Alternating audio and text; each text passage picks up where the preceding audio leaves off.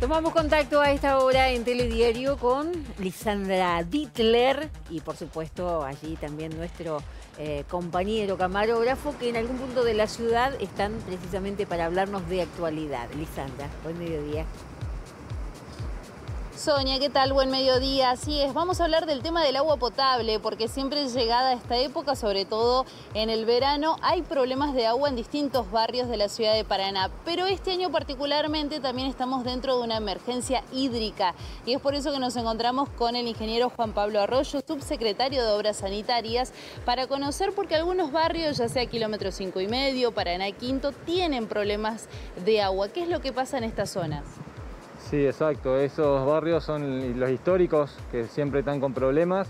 Eh, puntualmente en Paraná Quinto, ayer estuvimos con los vecinos hablando, eh, les explicábamos que estamos trabajando con la obra del pozo semisurgente para ponerlo en funcionamiento y que, bueno, ahí hablando con los vecinos ellos nos plantearon algunas situaciones que ellos creían que eran clandestinas, que no eran legales, que, que veían que eso los perjudicaba eh, evidentemente, digamos, estuvimos trabajando ahí en el lugar ayer por la tarde, hoy a la mañana y por lo que sé, los vecinos hasta el mediodía no tenían problema, tenían buena presión de agua y tenían, eh, tenían agua, digamos, que era lo importante. Así que creemos que con esas maniobras que hicimos de válvulas y, y trabajos de seguimiento, digamos, y de medición de presiones, hemos ido resolviendo por lo menos parte de la problemática y el resto ahora en la semana que viene estaría entrando en funcionamiento el pozo, con lo cual le daríamos una solución un poco más definitiva. Lo mismo, lo mismo con los vecinos de kilómetro 5 y medio.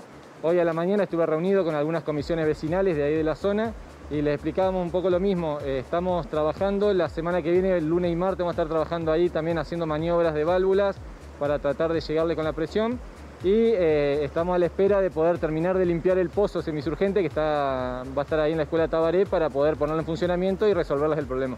Hablando de eso, ¿por qué hay problema con la presión del agua? El problema es porque el agua se consume y eh, en el caso de kilómetros 5 y medio ellos son los últimos que están en la cañería, entonces bueno, eh, en el medio se va consumiendo y le llega con baja presión.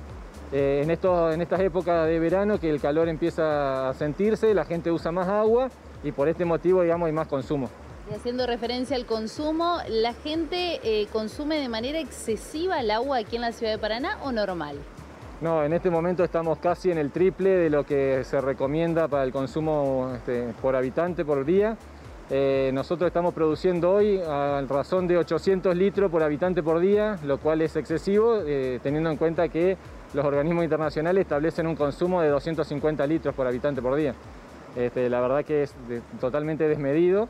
Y, bueno, eh, estamos también trabajando eh, a partir de un proyecto y estamos eh, solicitando financiamiento Nación para colocar micromedidores en los domicilios para precisamente poder computar exactamente cuánto consume cada, este, cada vecino y que en función de eso pague su, su impuesto de agua, digamos, su tasa sanitaria.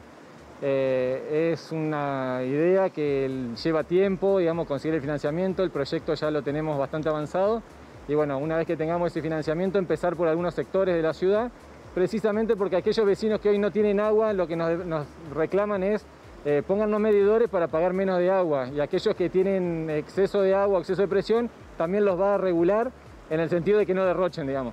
Así que bueno, esa es un poco la doble función que, buscamos con los medidores. ¿Hay mucho derroche en la ciudad y de qué manera?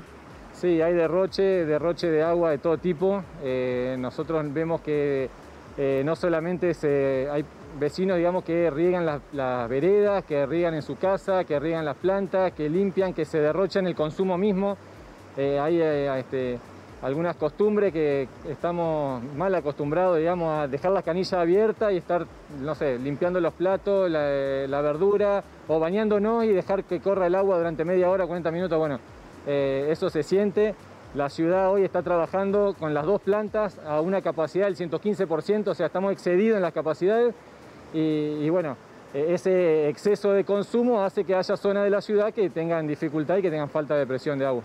La gente, ¿hay horarios, días para que pueda lavar sus veredas, por ejemplo? Sí, hay una ordenanza vigente y ahora con la emergencia hídrica se redujo el horario. En realidad es, eh, poner en funcionamiento, digamos, bien esa ordenanza establece los días martes y jueves de, 9, de 7 de la mañana a 10 de la mañana.